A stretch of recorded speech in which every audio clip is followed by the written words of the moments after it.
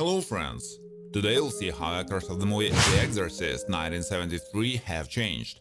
You'll know their original names and age.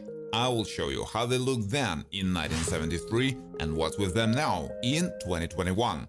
Don't forget to like and subscribe to the channel. Let's go! Regan MacNeil, Linda Blair, is a possessed 12-year-old girl. The daughter of famous actress Chris MacNeil, Regan is taken over by the demon Pazuzu and gradually assumes a strange, aggressive and completely different behavior that worries and scares her mother.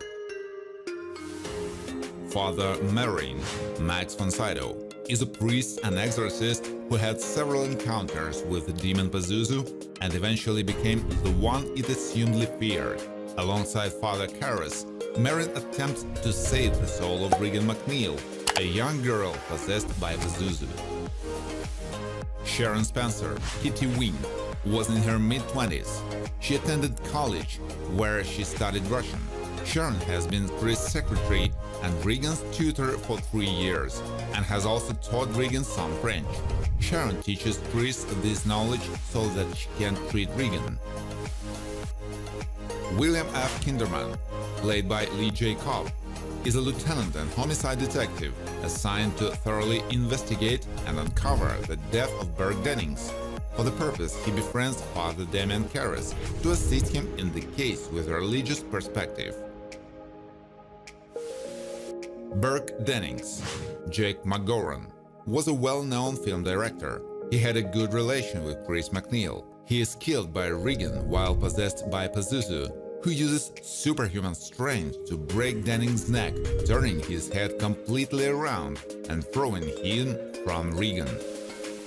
Father Damien Karras, as Jay, is a troubled priest and psychiatric counselor suffering from a crisis of faith who confronts Pazuzu and is joined by Father Merrin in his attempt to exorcise Regan MacNeil, a young girl the demon possesses.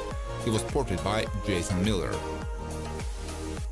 Father Dyer, played by William O'Malley, is the university president's assistant at Georgetown University. He's good friends with Damien Karras, a fellow Jesuit priest and psychiatrist. He meets actress Chris MacNeil for the first time at a wrap party thrown by her. Dr. Klein, Barton Heyman, is a doctor in The Exorcist who is trying to help Regan and figure out what's wrong with her.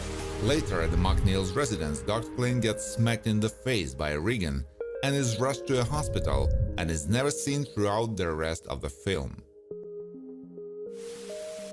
Dr. Tenney, played by Robert Symonds, was one of the doctors that attempt to treat Regan MacNeil.